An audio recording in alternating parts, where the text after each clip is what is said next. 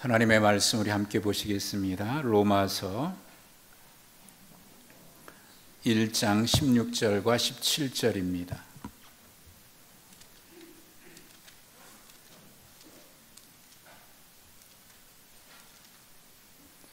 로마서 1장 16절과 17절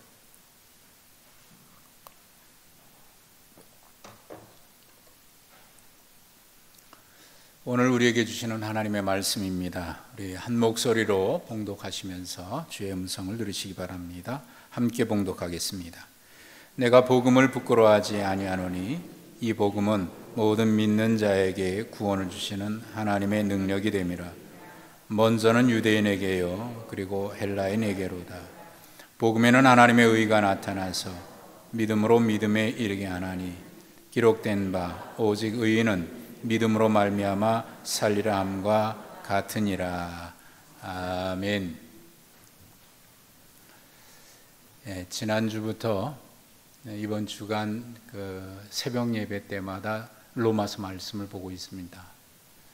교회 나오시는 분들도 어, 새벽에 나오시는 분들 어, 새벽 때마다 로마서를 보시겠지만 또 나오지 못하시는 분들도 생명의 삶 일정을 따라서 가정에서 로마서 말씀을 어, 묵상하고 계시는 분들이 더러 계신다고 생각합니다.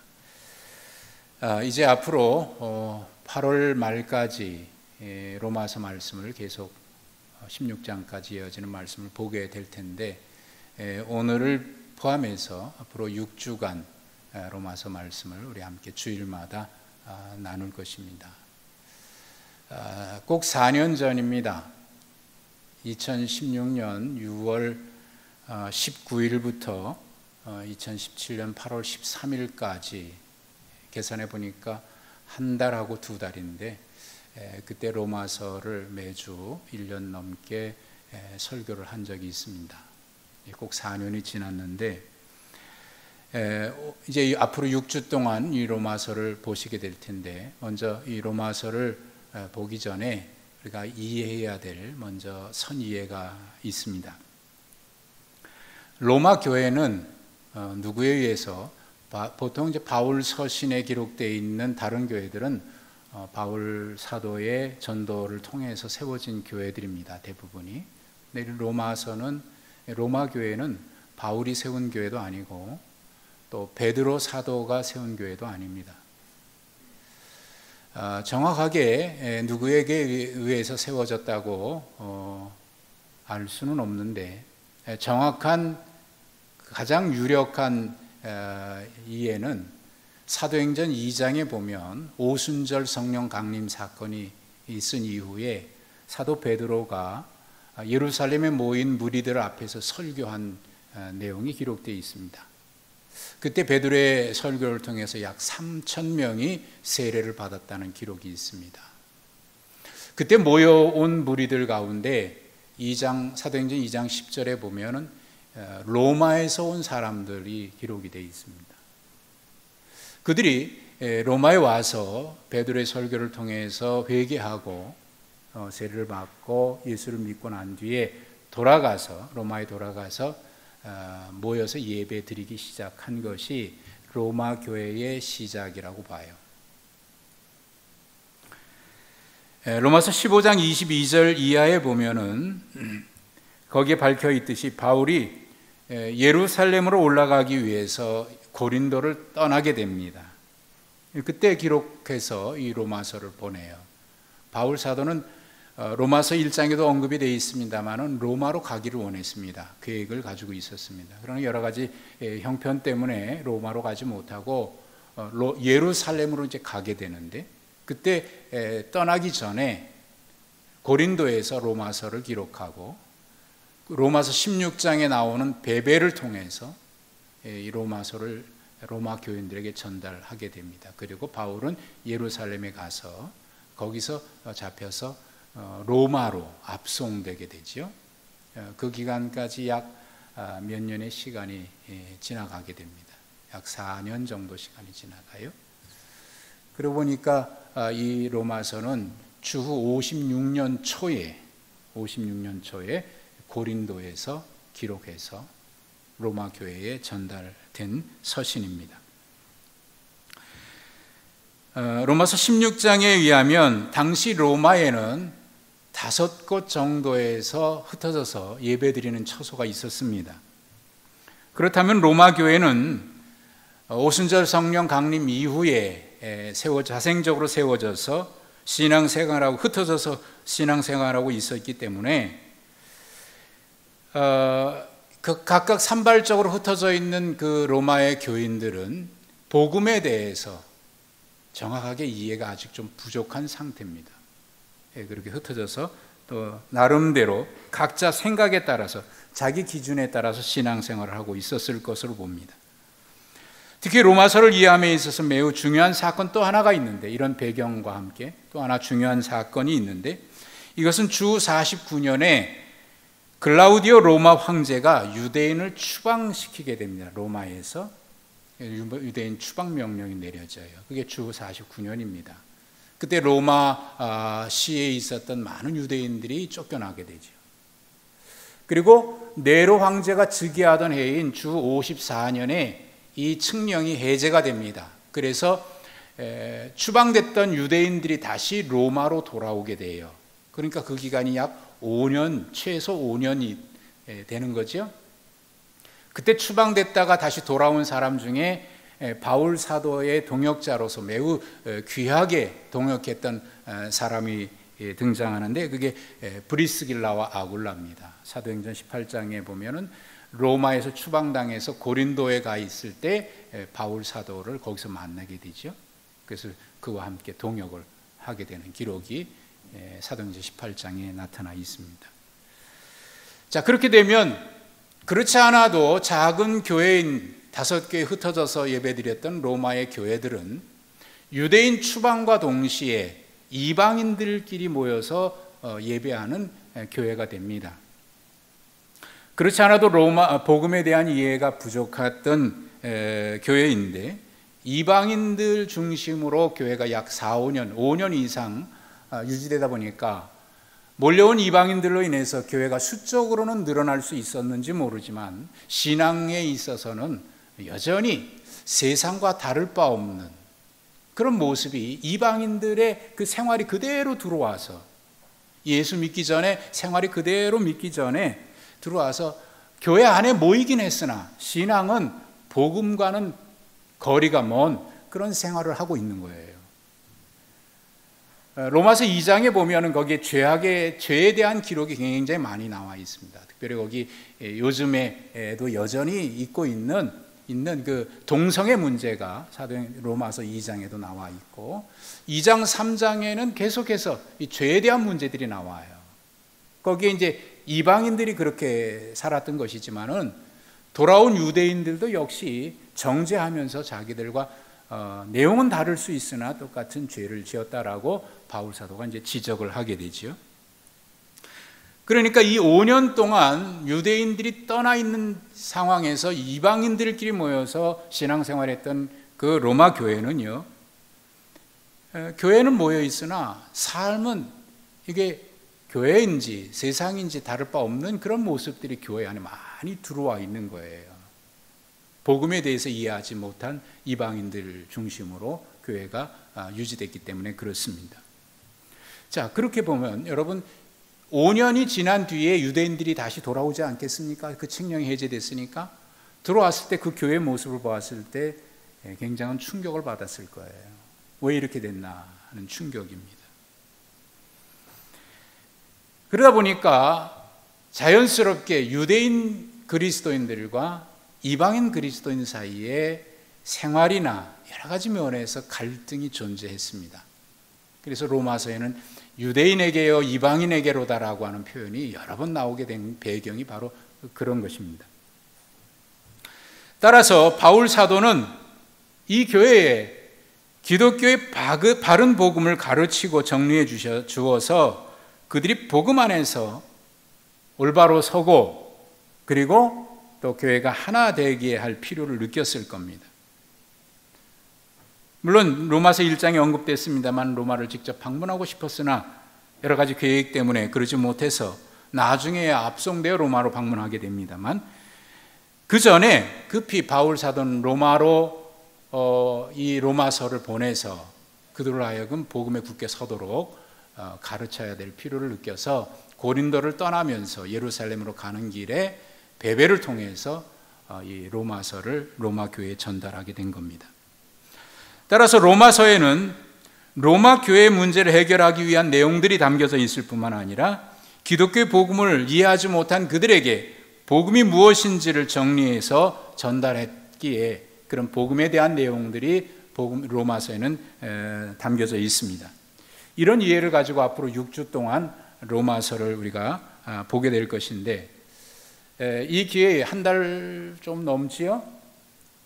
한 달 좀 넘는 이 기간 동안 여러분들도 로마서를 어, 가정이나 또 개인적으로 묵상하시면서 그리고 주일날 보던 말씀이나 주중에 보셨던 말씀을 가지고 지금 이 시대의 이슈가 되는 문제가 되는 문제 것들도 로마서에 많이 다루고 있어요. 그러니까 여러분들이 가정에서 자녀들과 함께 설교를 들은 내용 가지고 로마서 묵상한 내용 가지고 같이 대화도 좀 하시고 같이 토론도 하시고 그러면서 어, 이때 복음의 가치관을 올바로 세우는 그런 기회로 활용하면 매우 유익하겠다 하는 생각을 하게 됩니다.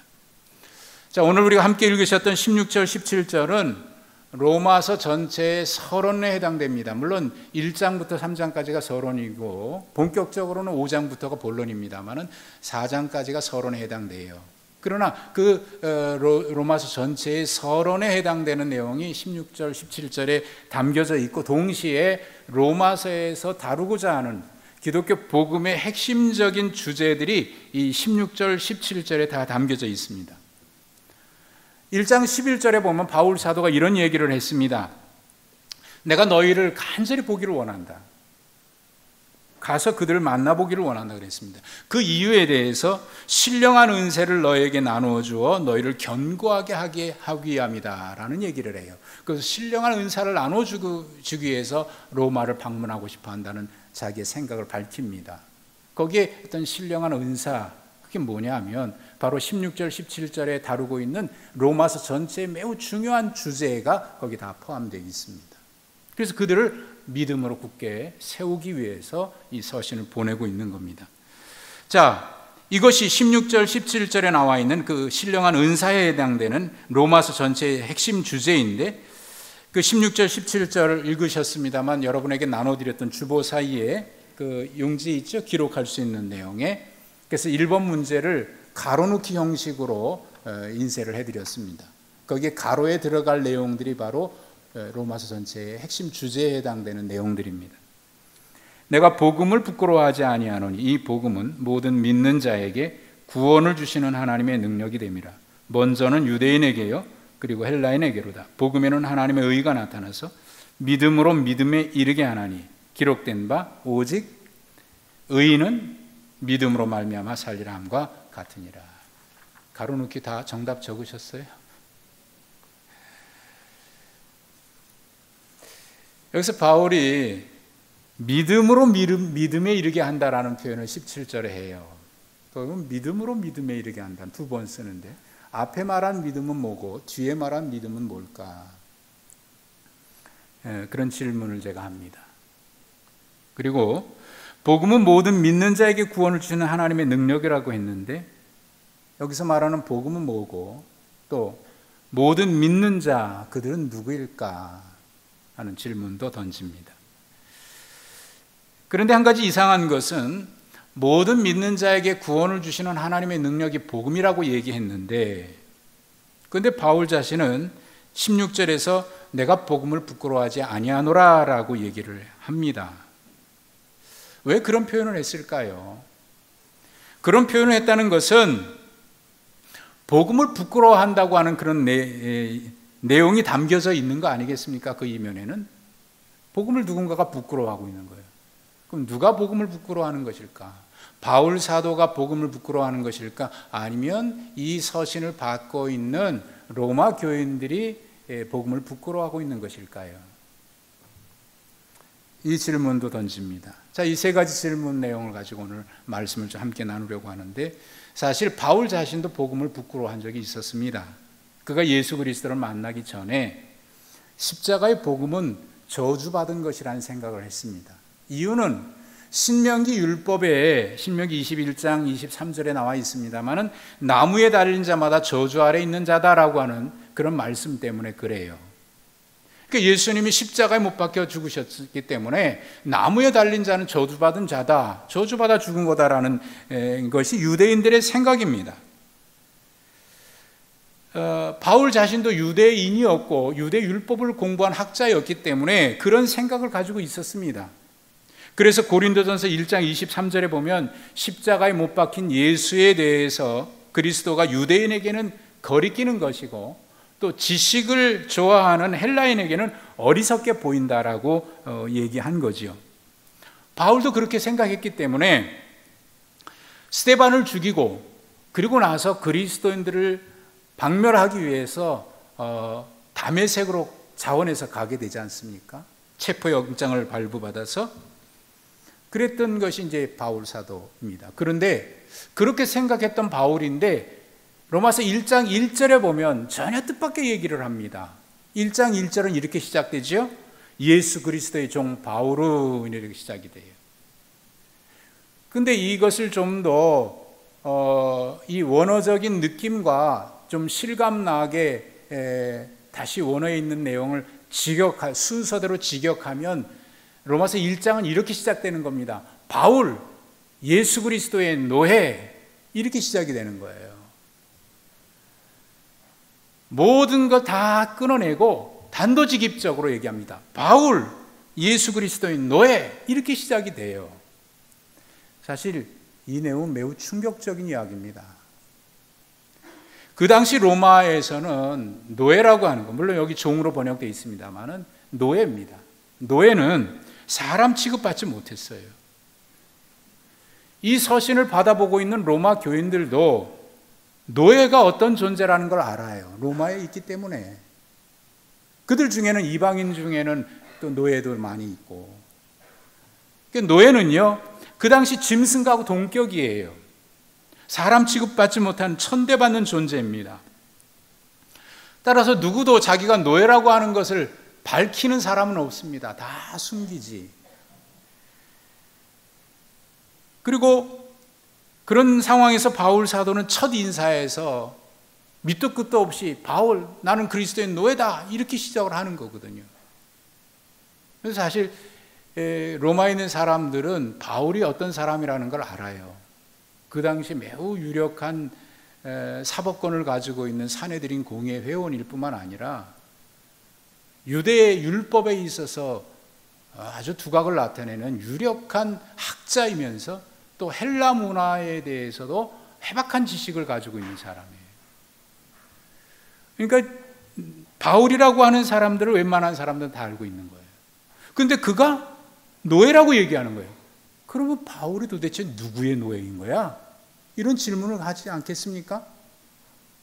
근데 그 뜻밖에도 얘기하는 것이 나는 예수 그리스도의 노예다라고 얘기하는 거예요. 그들이 부끄러워하는 예수 그리스도의 노예다. 앞서 말씀드린 대로 내가 복음을 부끄러워하지 아니한다라고 하는 말에는 누군가가 복음을 부끄러워하고 있다고 하는 내용을 담고 있는 거예요. 그러니까 사실은 그들은 누구냐면 바울도 예전에는 그랬지만은 지금 로마에 있는 교인들이 예수 그리스도를 부끄러워하고 있는 거거든요. 그런데 동시에 이 말 속에는 역설적으로는 이런 강조의 표현입니다. 나는 복음을 부끄러워하지 아니한다라고 하는 이 말은 나는 복음을 자랑스럽게 여긴다라고 하는 강조의 표현이기도 한 겁니다. 바울이 자기를 예수 그리스도의 노예라고 당당하게 밝히고 있는 것을 보면 지금 바울은 복음을 부끄러워하지 않습니다. 자랑스럽게 여기고 있습니다. 사실 바울 사도 시대의 로마 시민 인구 수가 약 100만 명이 조금 넘는다 그래요.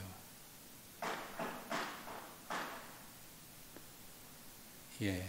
조는 분들 깨우느라고 누군가가 지금. 로마 시민 인구가 그 당시 100만이 넘는다고 그러는데, 예, 로마 시민, 시에만입니다. 근데 로마 제국 전체에 약 4, 50개 도시가 있는데 거기에 흩어져 있는 그리스도인들이 약 5만 명이 조금 안 된다 그래요. 그 당시에. 그러면 로마시에는 아까도 말씀드렸습니다만 한 다섯 곳 정도에서 흩어져서 예배드리고 있었는데 많이 모이는 것이 100명이 넘지 않습니다. 그러면 어느 정도인지 아시겠죠? 그러면 그들이 로마 안에서 얼마나 위축이 되겠습니까? 주 4세기의 콘스탄티노플, 지금으로 말하면 터키 이스탄불입니다.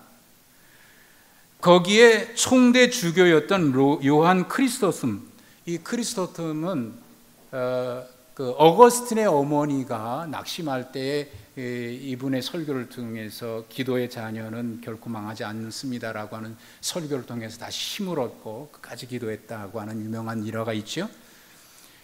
그 크리스토슴이 당시 상황을 이렇게 얘기했는데 당시 로마는 그들이 일군 재산과 또 그들이 이룩한 제국 그리고 전쟁마다 승리한 것 때문에 로마의 황제는 자신을 신이라고 자부하고 있었고 실제로 신으로 선포하기도 했다.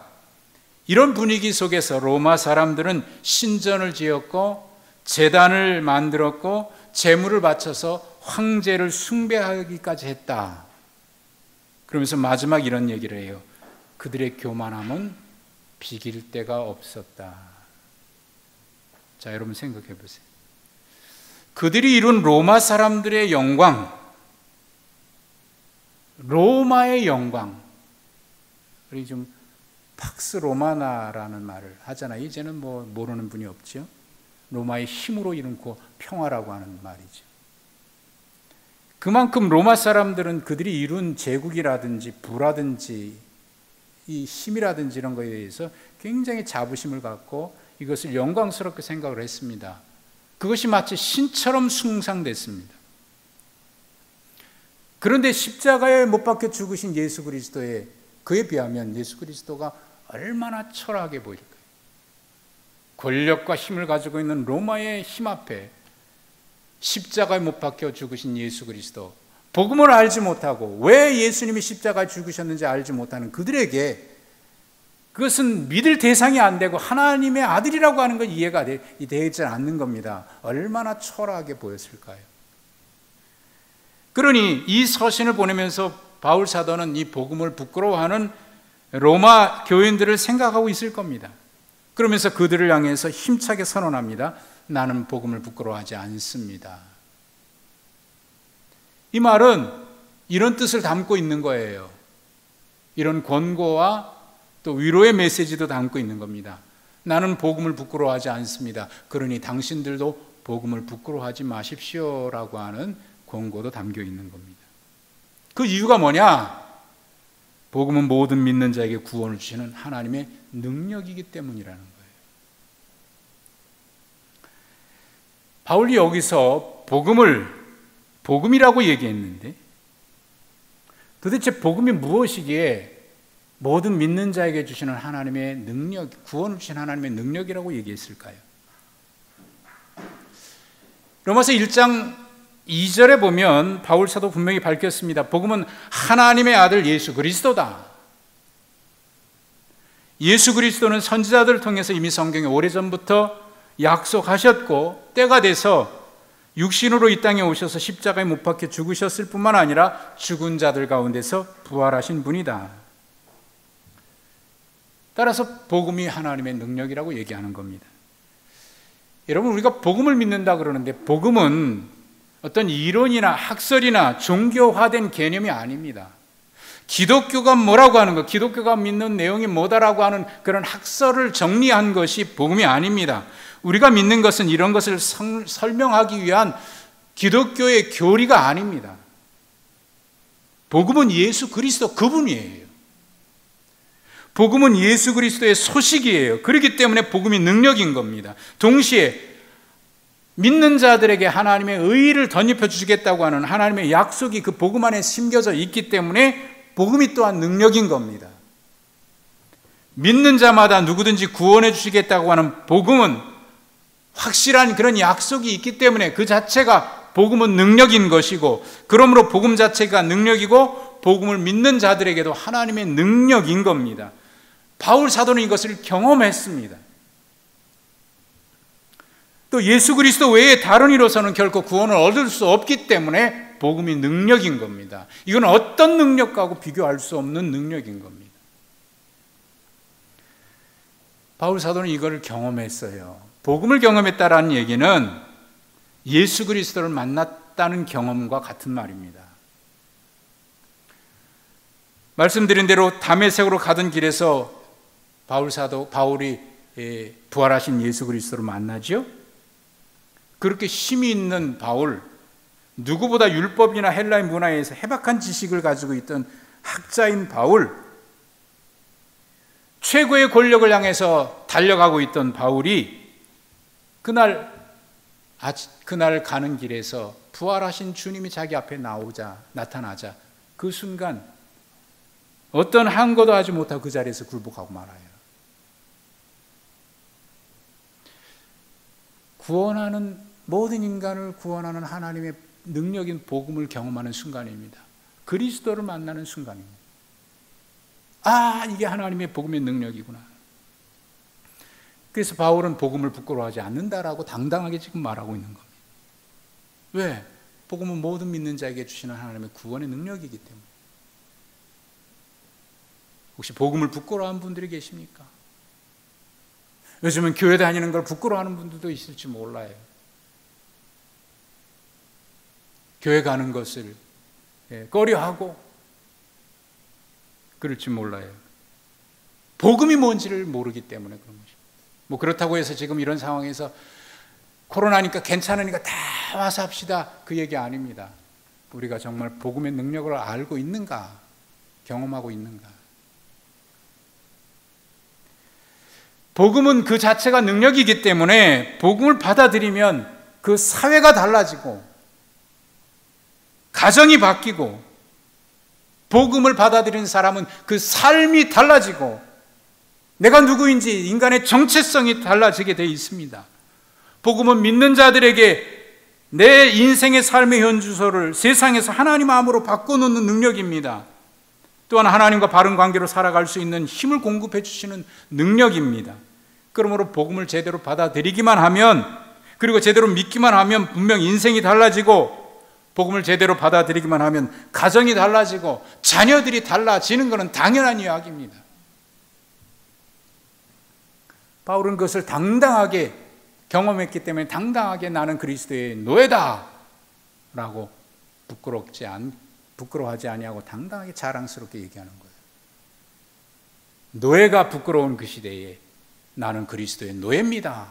라고 당당하게 말이죠. 바울 사도가 복음은 하나님의 구원을 주시는 모든 믿는 자에게 구원을 주시는 능력이라고 했는데 그러면 복음이 능력이라고 하면 믿음은 뭡니까? 믿음. 이 믿음이라고 하는 데 문제가 있습니다. 그동안 우리, 우리는 오직 믿음이라고 외쳤습니다. 구원은 오직 믿음으로만, 믿음으로만이라고 외쳤습니다. 들지 않습니다. 맞는 말입니다.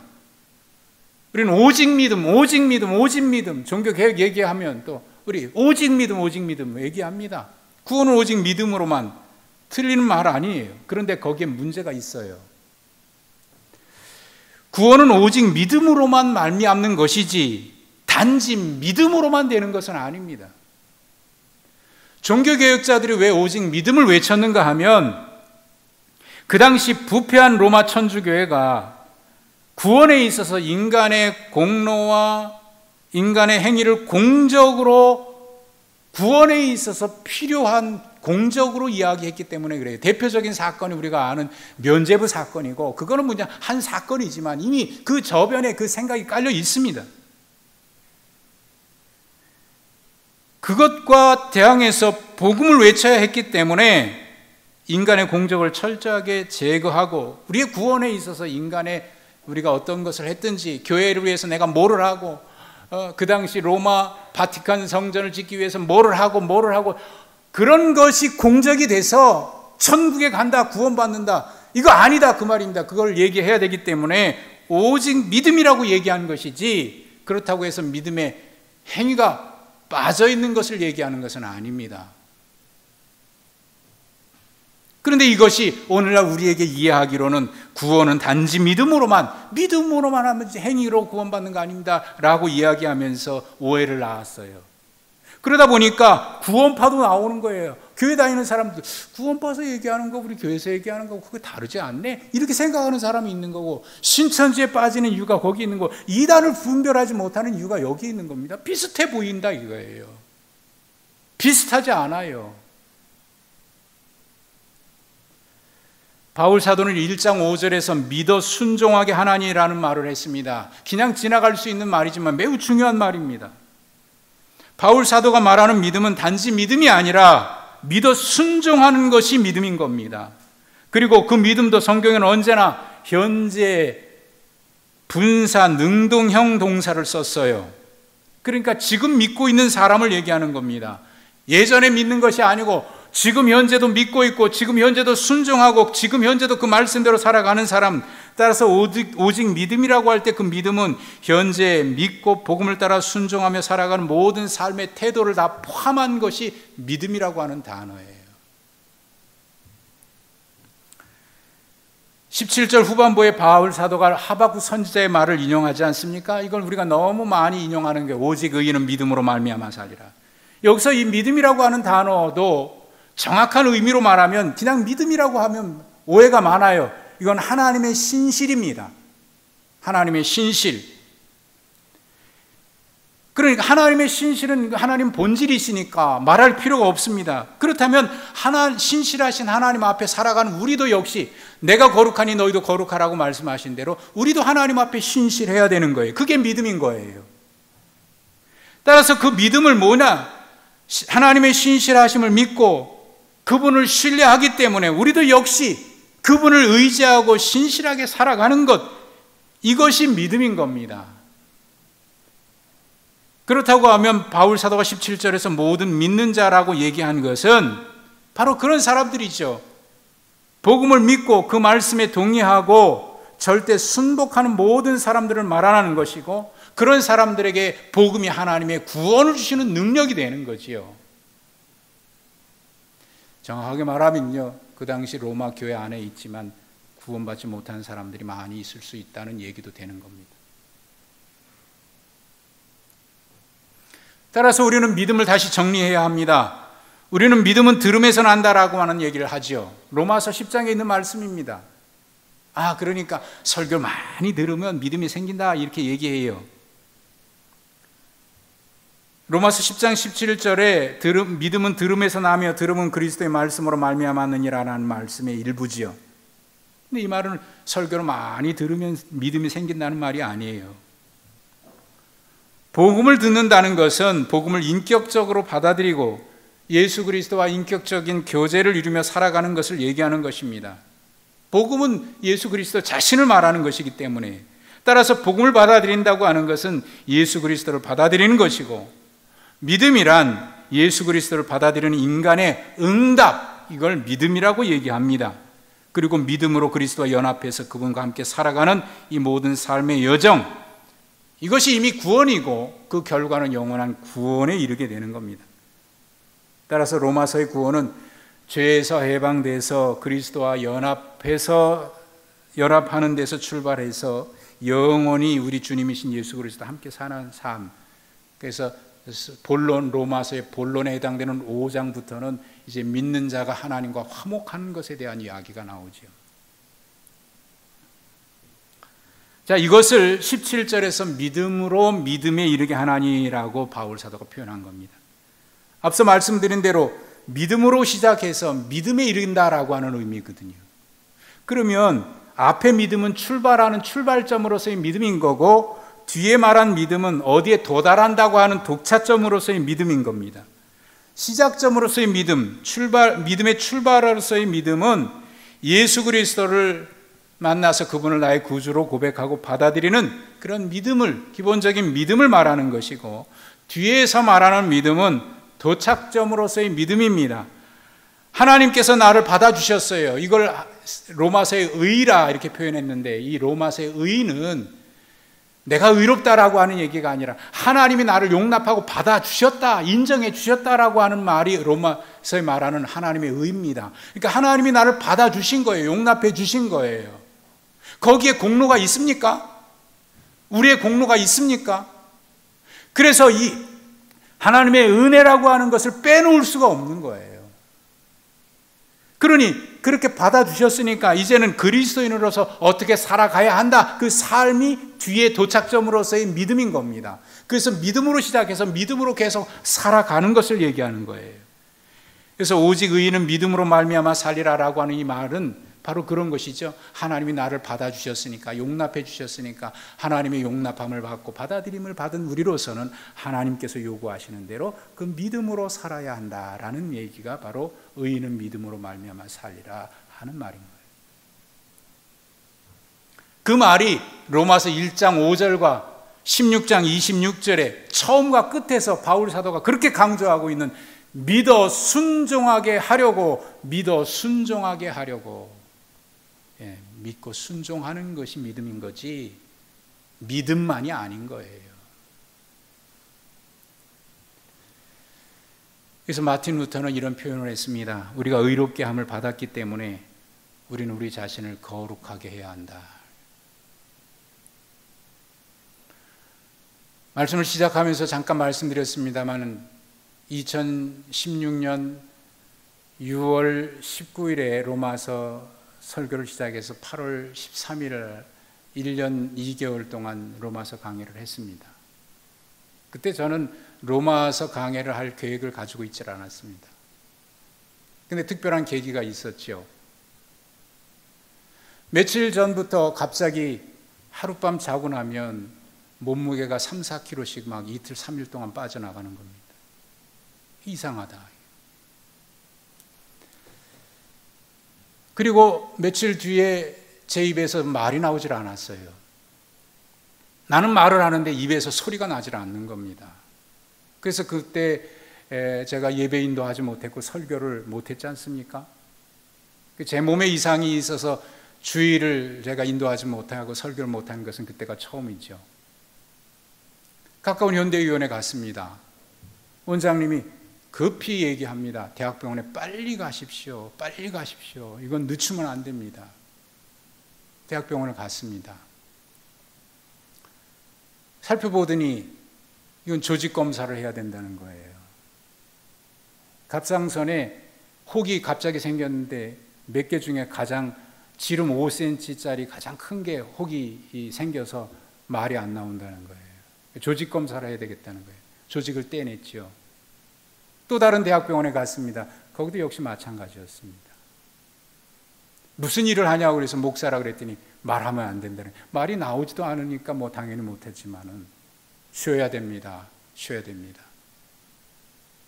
당에 말씀드렸더니 허락해 주셔서 강화도의 기도원에 가서 제가 쉬었습니다.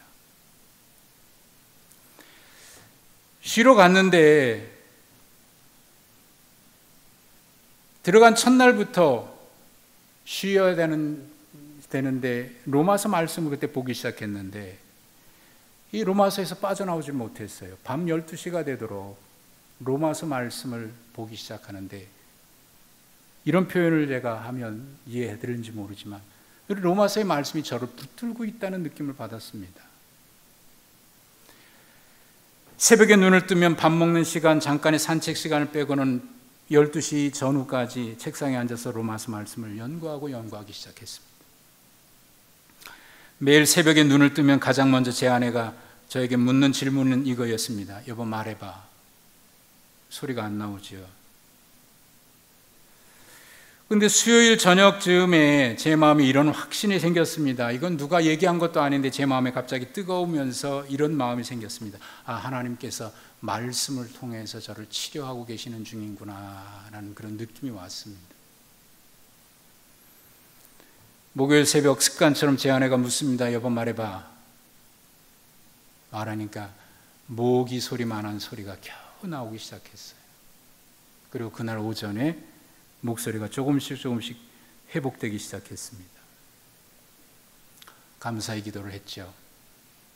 그리고 그때 마음에 돌아가서 이번 주일부터 로마서 강의 설교를 해야 되겠다 해서 로마서 설교를 한 게 1년 2개월 동안 한 것입니다.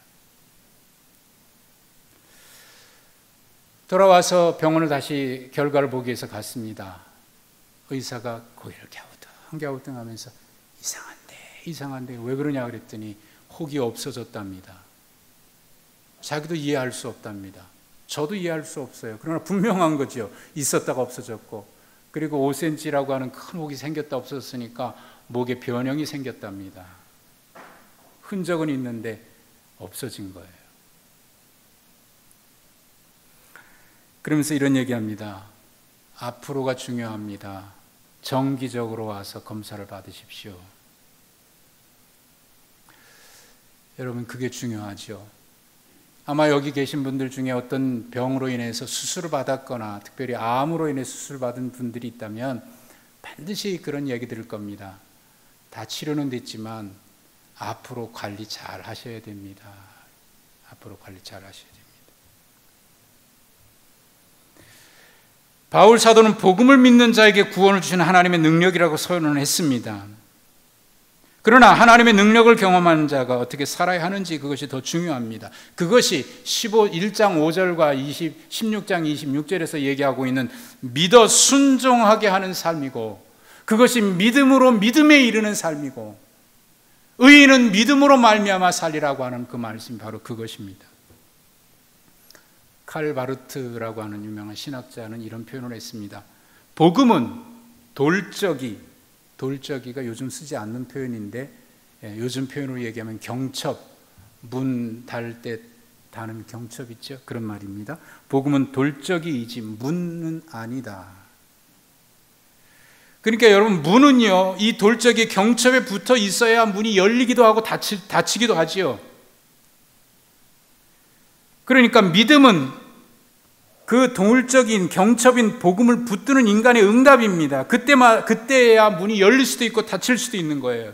그때 하나님의 능력의 역사가 시작됩니다. 그리고 하나님께서 약속하신 그 문을 열어 주시는 겁니다. 그뿐 아니라 하나님을 믿고 전적으로 하나님을 신뢰하는 사람들을 하나님은 안으로 영접해 주시고 하나님의 능력을 경험 살아갈 수 있도록 우리를 복음 안으로 능력 안으로 우리를 이끌어 주시는 겁니다. 우리는 그 돌적이 경칩을 잡고 있어야 해요. 그게 복음인 거예요. 바울 사도는 담의 세계에서 그 길을 그것을 경험했습니다. 그리고 죄인임에도 불구하고 받아주신 은혜를 경험했습니다. 그래서 그가 하나님의 의라고 얘기할 때 그 의는 죄인임에도 불구하고 나를 받아주신 하나님의 사랑에 대한 은혜에 대한 표현인 거지. 뭐 신학적으로는 얘기합니다. 그거는 법률적 용어입니다라고 하는 얘기예요. 그러나 그 의미는 그런 거예요. 하나님이 은혜로 봐. 따라서 우리 신앙생활하는 사람에게 있어서 하나님의 은혜를 빼놓고는 우리는 할 수가 없는 거예요. 모든 것이 은혜지. 하나님의 은혜를 빼놓고 내가 뭐 했는데 내가 뭐 했는데 얘기할 수 있는 사람 아무도 없습니다. 그거 자랑해서 천국 갈 수 있는 것도 아닙니다. 공로일 수 없어요. 하나님 있다면 오직 은혜인 겁니다. 오직. 저는 분명히 믿습니다. 복음은 능력입니다. 그리고 목사로서 설교자로서 제가 분명히 가지고 있는 것이 있습니다. 설교는 사람의 이야기가 아니고 하나님의 구원 이야기를 그대로 전하는 것입니다. 설교 자체가 하나님의 말씀은 아닙니다. 분명히 기억하십시오. 설교 자체가 하나님의 말씀은 아닙니다. 그러나 하나님은 설교를 통해서 당신의 복음 말씀을 사랑하는 성도들에게 전하기를 원해서 목사를 통해서 설교라고 하는 도구를 통해서 하나님의 복음, 하나님의 말씀을 전하기로 사용하시는 겁니다.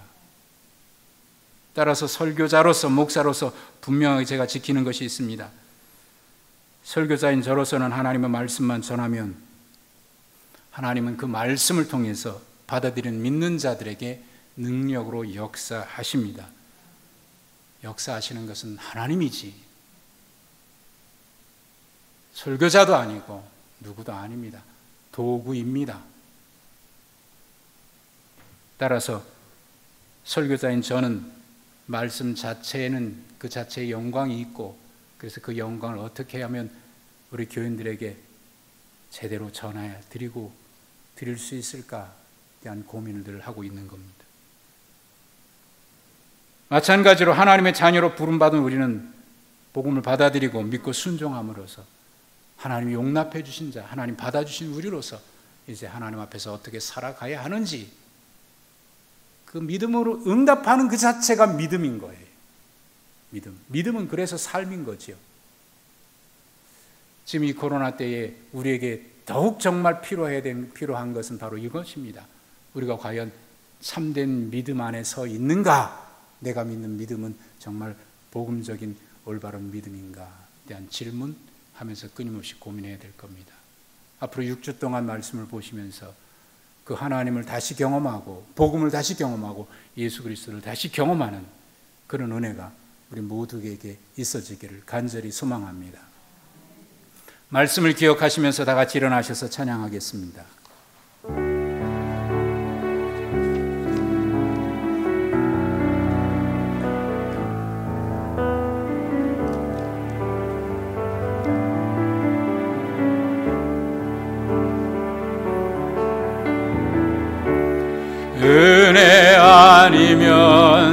살아갈 수가 없네. 고음마저도 나 주의